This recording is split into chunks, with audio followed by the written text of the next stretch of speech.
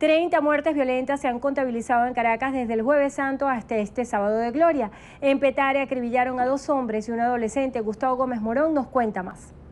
En el sector La Cañada del barrio José Félix Rivas de Petare ocurrió el triple homicidio. Dos hermanos y un primo fueron baleados por sujetos armados cuando jugaban bingo con unos vecinos. Se lo llevo quien lo trajo. No aguantamos la violencia que hay en el país porque en la parte también donde yo vivo esos tiroteos todas las noches, que vivo por otro barrio. Tenemos que agachárnoslo.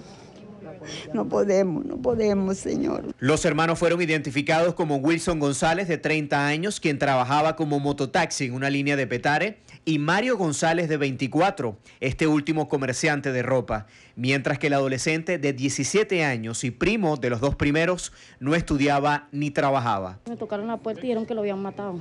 Cuando subimos ya no había nadie ahí, sino nada más ellos ahí tirados. En el barrio obrero del manicomio mataron de varios disparos a un técnico del canal de televisión de la Asamblea Nacional. Fue identificado como José Ramón Castillo Amado, de 33 años. Cuando estacionaba su moto en casa de un familiar, un delincuente lo sorprendió y le disparó.